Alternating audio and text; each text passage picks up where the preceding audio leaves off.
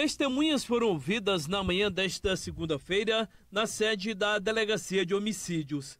Os depoimentos têm como finalidade ajudar a Polícia Civil a elucidar o assassinato do detento monitorado Tiago Melo Mendonça. Ele foi executado a tiros na tarde da última sexta-feira após ter a casa invadida por criminosos. O homicídio aconteceu no conjunto habitacional Cidade do Povo. Na mesma ação, Gemerson Pereira dos Anjos, também monitorado, foi baleado. Os dois tinham passado do regime fechado para o semiaberto no último dia 4.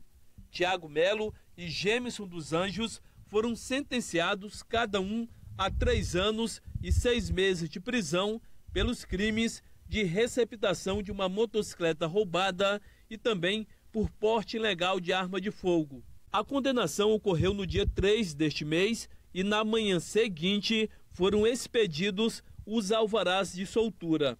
A dupla estava presa desde o dia 23 de março deste ano. Na época, os dois foram flagrados em uma motocicleta roubada. Eles tentaram fugir da polícia, mas acabaram detidos por militares do 2 Batalhão. Tiago Melo, que portava uma escopeta, chegou a ser baleado. Ele foi socorrido pelo SAMU e encaminhado ao pronto-socorro de Rio Branco. Já Gemison dos Anjos fugiu para uma área de mata e pouco tempo depois foi preso. O depoimento dele, que deve ocorrer ainda esta semana, também é considerado fundamental pelos investigadores.